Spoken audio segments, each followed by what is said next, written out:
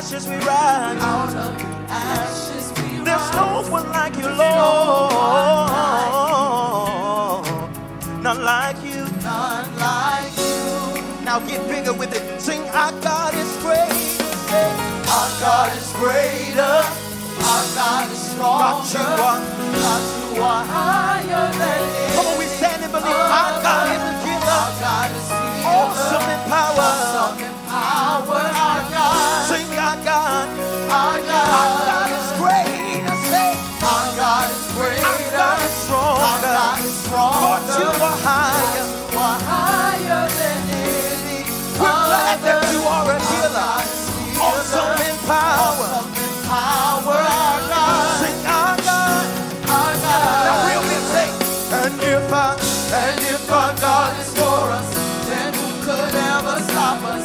And if our God is with us, then what can stand against? And if our God is for us, then who could ever stop us? And if our God is with us, then what can stand? And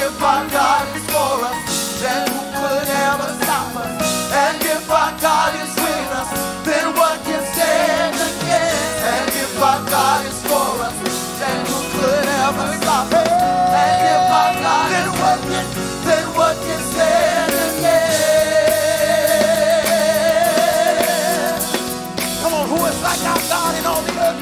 What? Then what can stand against?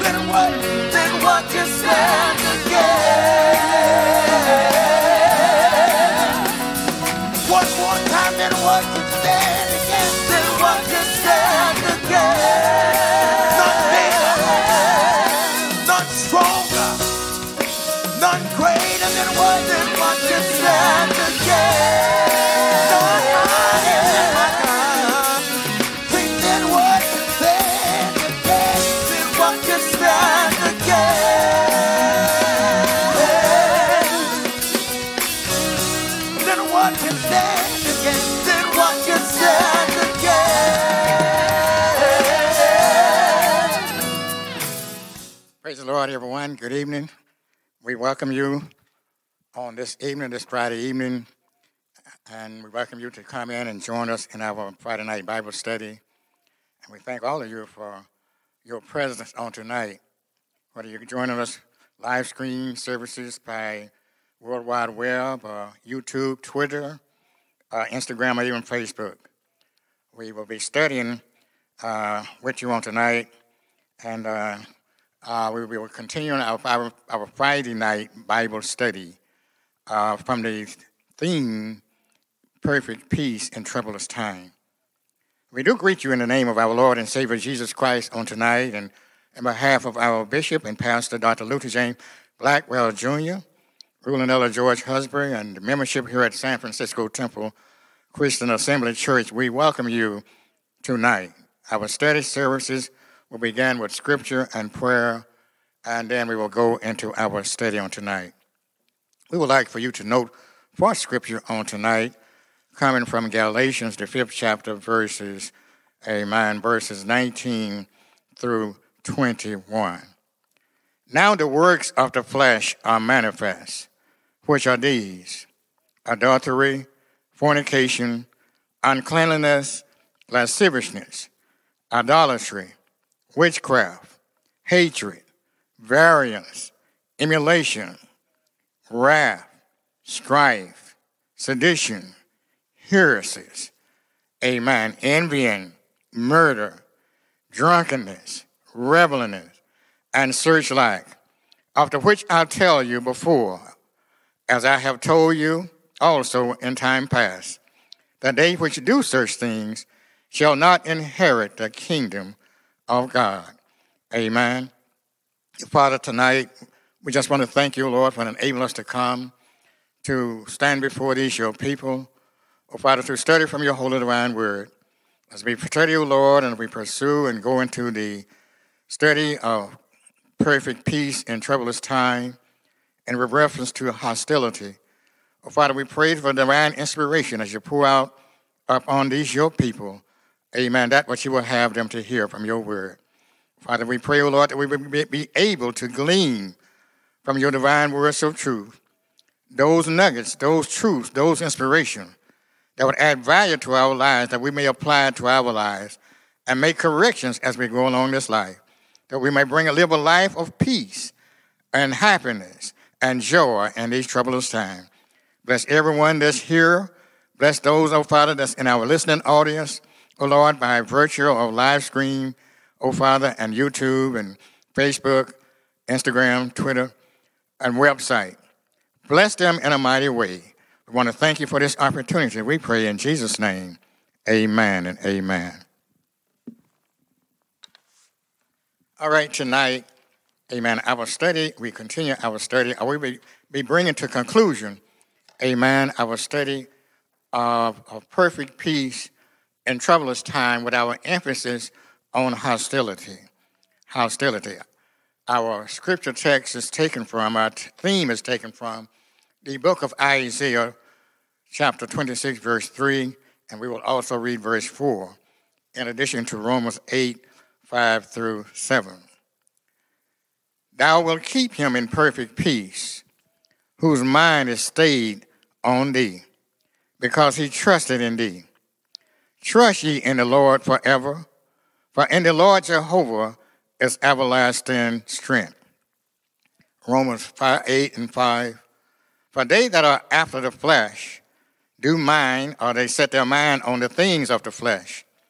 But they that are after the Spirit, the things of the Spirit. For the, for the, for the carnal mind is death, but the spiritual mind is life and peace because the carnal mind is enmity or hatred against God. For it is not subject to the law of God, neither indeed can be. So, as we go into the study of our lesson on this night, amen, we investigate, amen, the passage uh, from the book of Romans.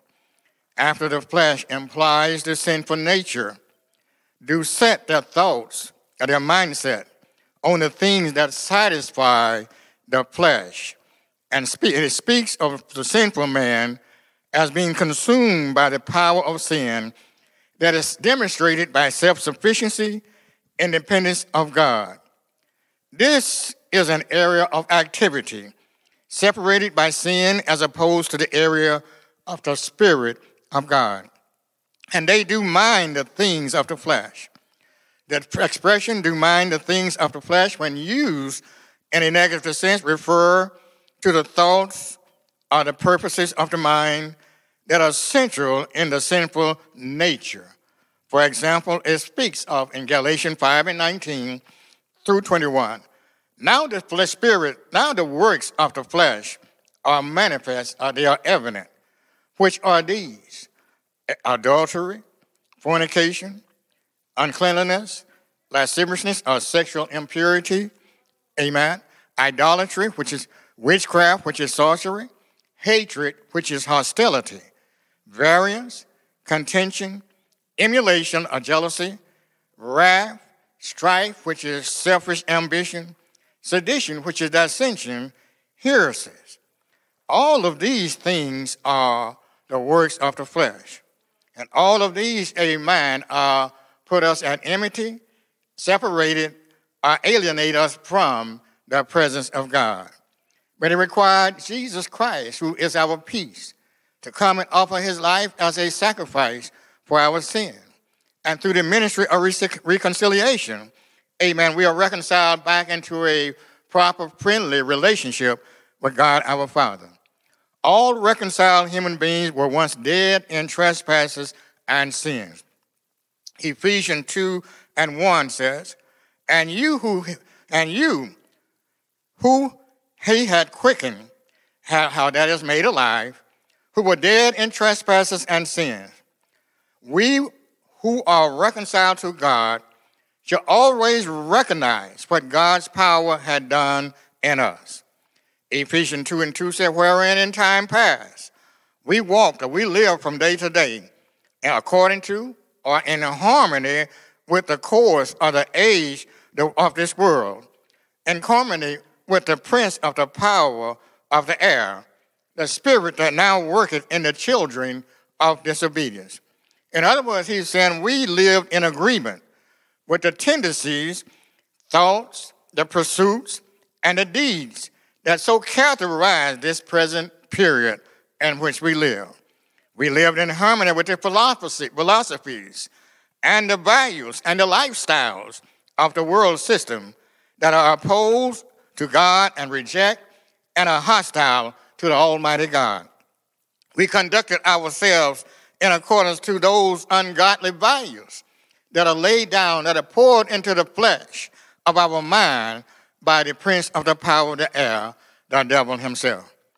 But being before being converted, we live in concurrence with the prince of the power of the air, which means that we used to live by the dictates of Satan.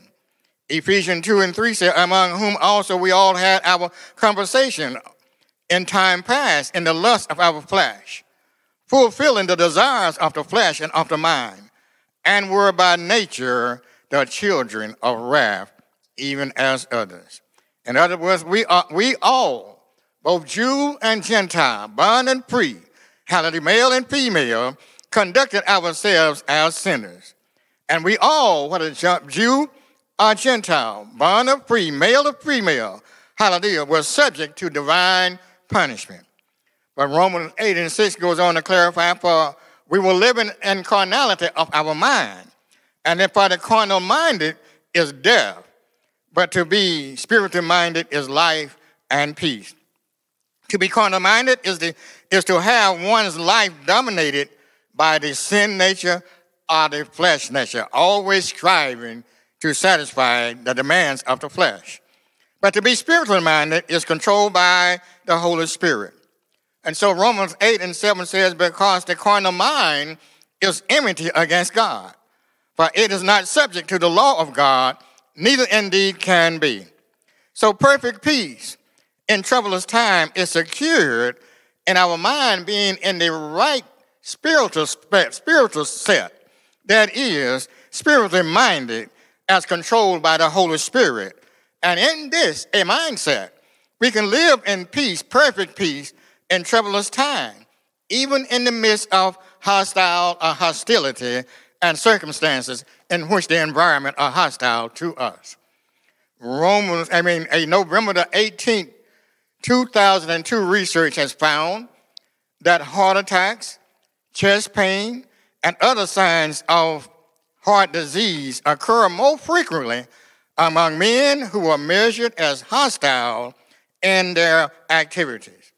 So, the definition of hostility is a state of showing or feeling enmity, antagonism towards someone, not hospitable, pertaining to an enemy or a foe.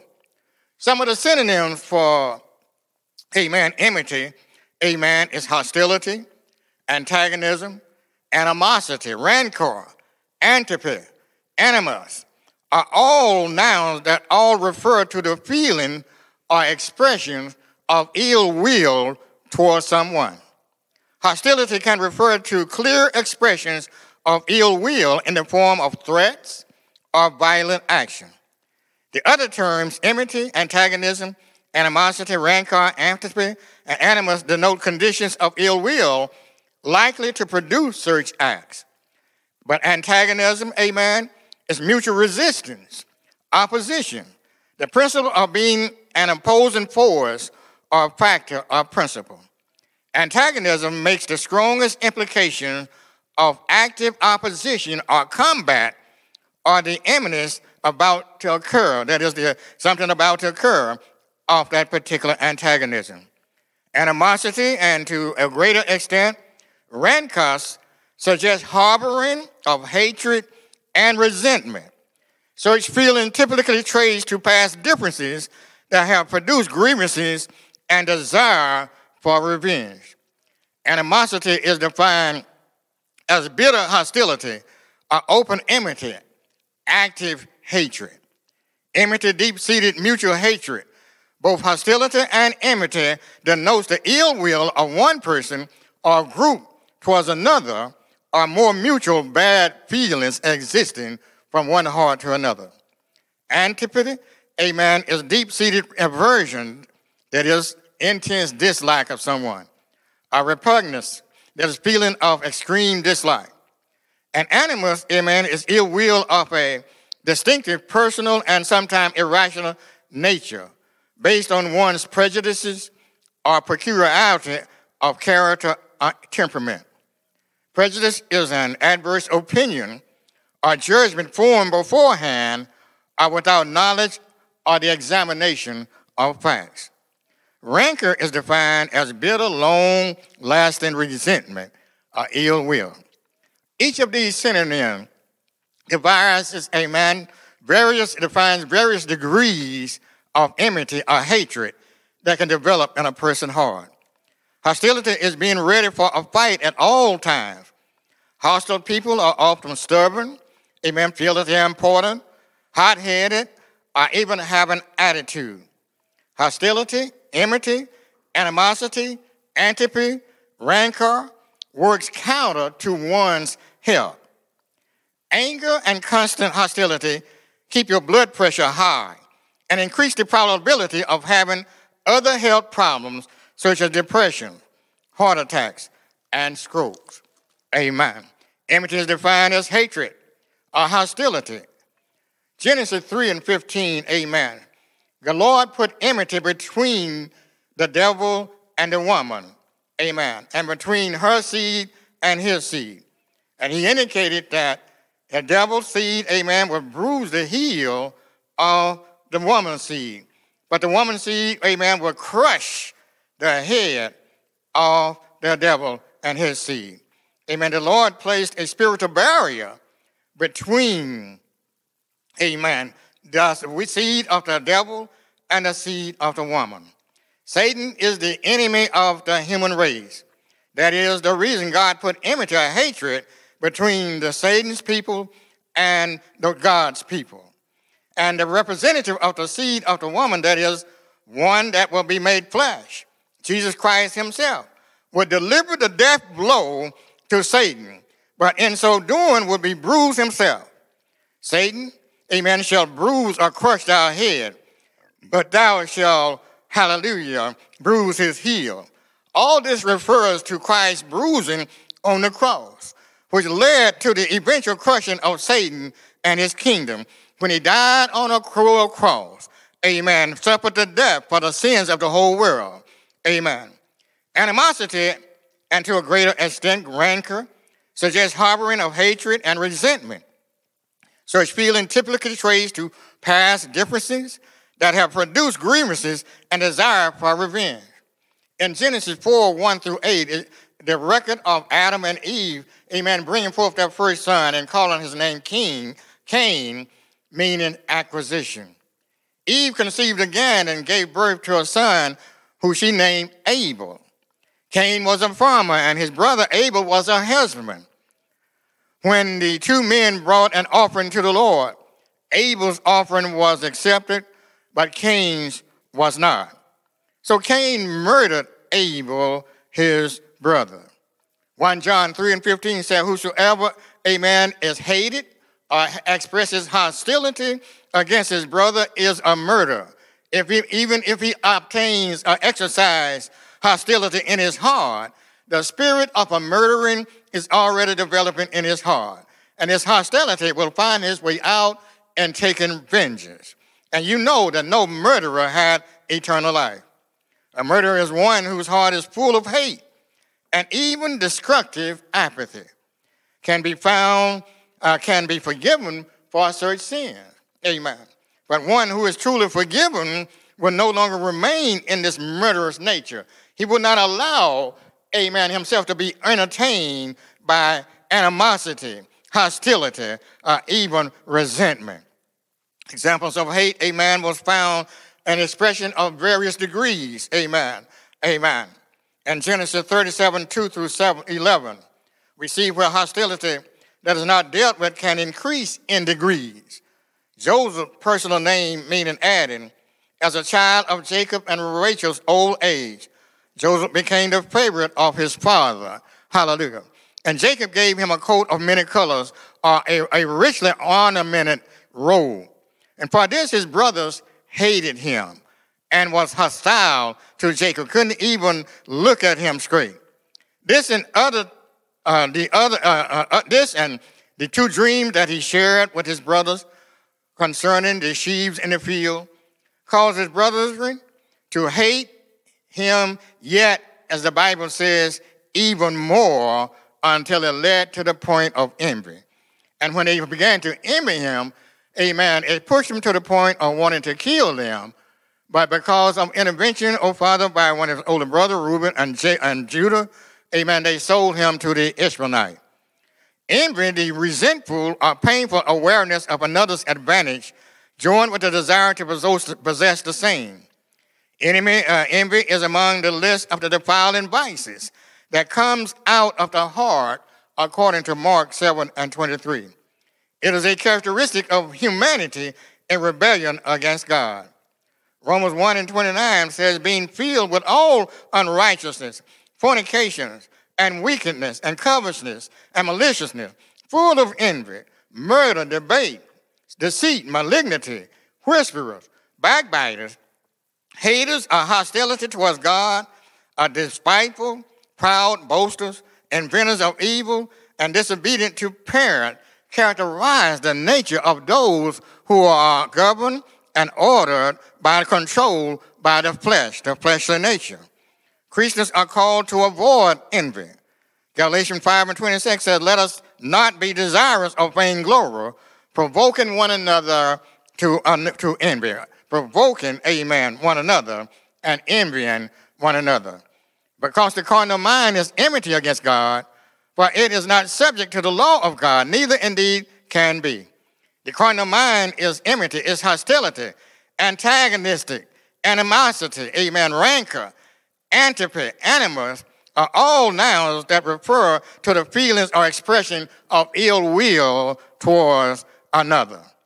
The carnal mind denotes the thought or understanding as being of the sensual nature of having possession and entertaining worldly thoughts. Its translation represent a spiritual consciousness or disposition that can be either positive or negative. When speaking in the fleshly or worldly sense, darkness is the result. Ephesians 4 and 18 says, having their understanding darkened, being alienated from the life of God through the ignorance that is in them because of the blindness of their heart. The blindness of their heart refers to the hardness of their will. Amen. Their obstinacy against the divine will of God has caused them to be separated from God's life. and it also caused them to be totally hostile towards God. But God, through Jesus Christ, has offered a remedy to destroy and to abolish, amen, the hostility that exists in the heart of man.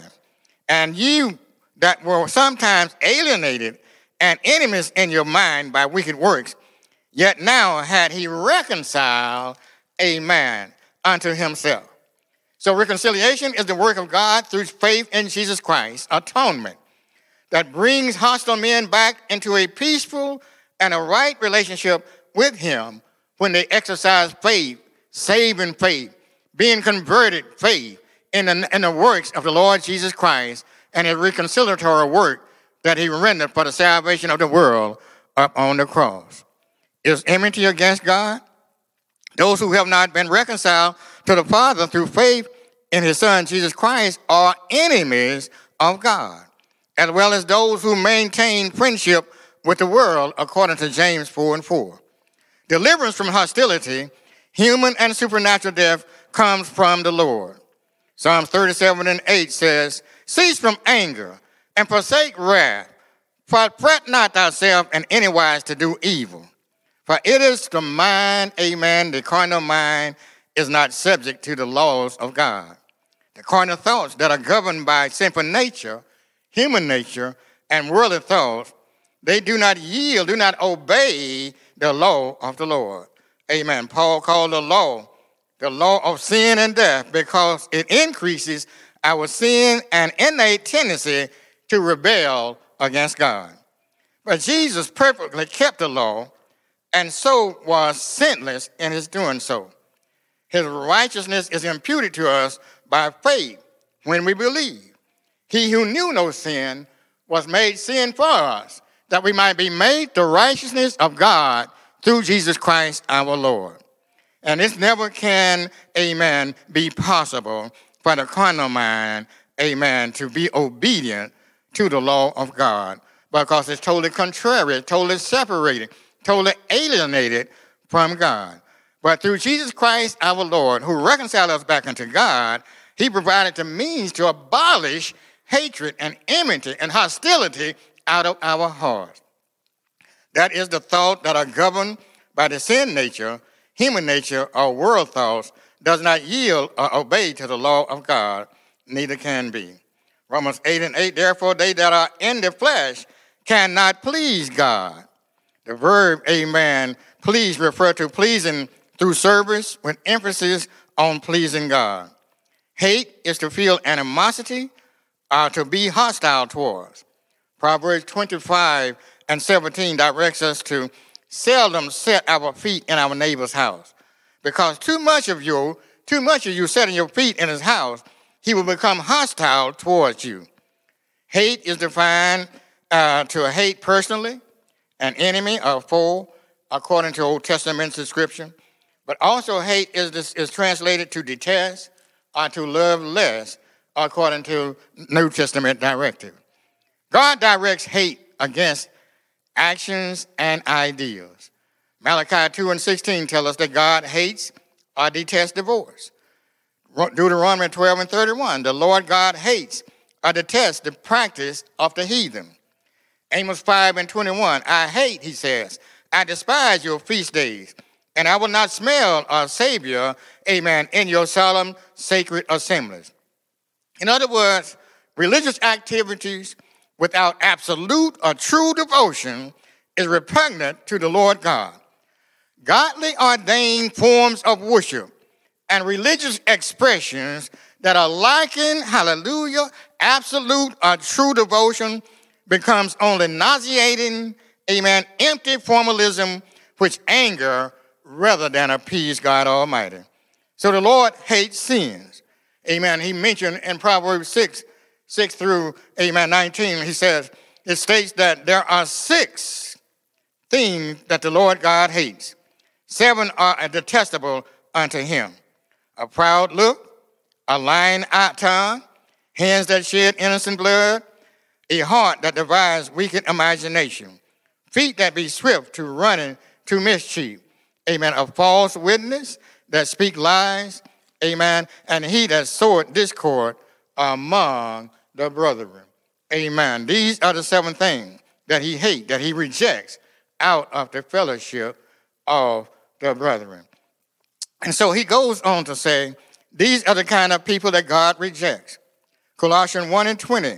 And having made peace through the blood of his cross by him to reconcile all things unto him, by him I say, whether they be things in earth or things in heaven. And so here, reconciliation, amen, it stands to, is a term used to describe the work of God through Jesus Christ in removing the hostility, amen, of enmity that is affected by believers' belief in being washed in the blood that Christ shed on, cross, on the cross. The remedy best to use to abolish hostility from the heart is stated in Colossians 3 and 15. And let the peace of God rule in your hearts, to the which you are called in one body, and be ye thankful. In other words, we are allowed to allow peace because Jesus is our peace. Amen. He is the peace when we are saved and we are in a hostile situation. The peace of God serves as a referee, as an umpire, to direct us, O Lord, the best course, the best godly course to take to resolve the issue in order to maintain the unity of the Spirit and the bond of peace in that particular body. And so he said, Let the peace of God rule in your hearts, to the which you are called in one body, and may you thankful. That once the peace of God rule and accepts that perfect unity, amen, that peaceful situation, and restore that harmony between brothers, uh, situation, husband and wives, uh, brothers and sisters, amen. Then it's time for the word of God to dwell in us richly in the name of Jesus. So if you have not at this particular time and moment of your life made a decision, amen, to surrender your life to Jesus, if you feel that you are in, an, in a hostile environment, an environment where hate and envy, antagonism, resentment, ill feeling, amen, is rampant, or even you yourself are feeling resentful, antagonistic, and feel animosity towards someone. You feel like, amen, you want to get revenge, amen. And turn your hearts over to Jesus. Surrender your life to Jesus. And Jesus said he will come in and he will give you a new heart and a new spirit so that you can walk upright and live holy. And then he will come in and the Holy Spirit will be your guide. He will govern you, he will direct you into the right decision, amen, to render to that person. That decision is always to exemplify love and peace and joy and the Holy Ghost. Amen. At this particular time, we ask you to stand and pray along with us. Amen. If you have not received the Lord and Savior as your personal Savior, pray along with me. Father in heaven, I ask you to come into my life and save me. I believe your word when you said you have forgiven all of my iniquity and you have healed all of my diseases. You said you have forgiven it for your own sake and you will remember my sins no more. So, Father, I receive your forgiving spirit. And I believe that the Holy Ghost, amen, when I confessed it with my mouth and believe it in my heart, that I shall be saved. That the power of the Holy Ghost would do a miraculous heart transplant, take out this old sinful, hostile heart, and give me a heart of flesh.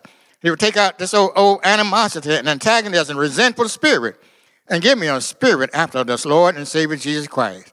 And Father, I believe that and I receive it, and I want to thank you for saving me right now. And I thank you, Lord, for the new guiding power of the Holy Spirit who will enable me to walk in the newness of life and will teach me all things what I should know and how I should live in this new life as I walk in, the, in faith in Jesus Christ our Lord. Thank you for saving me. Thank you for healing me. And thank you for delivering me. Thank you, Lord, for removing the hostility out of our heart, out of my heart. Well, if I pray that prayer along with us and you believe in your heart, then you are now saved. Amen. We thank you for joining us, joining in with us in this study on today. And we pray that you will have a blessed walk throughout the week to come and that you will receive the works of Jesus Christ in, in abolishing hostility, enmity, animosity, resentfulness, antagonism, rancor, and all of these other ill vices, even hatred out of your heart. Now we will say our benediction. Now the God of peace that brought again from the dead our Lord Jesus Christ, the good shepherd of the sheep, through the everlasting blood of the covenant, make you perfect in every good work to do his will, working in you that which is well pleasing in his sight, through Jesus Christ, to whom be glory forever and ever. Amen.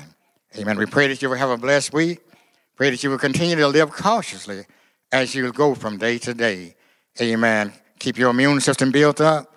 Amen.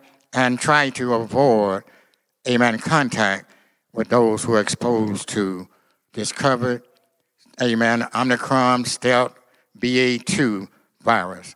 God bless you.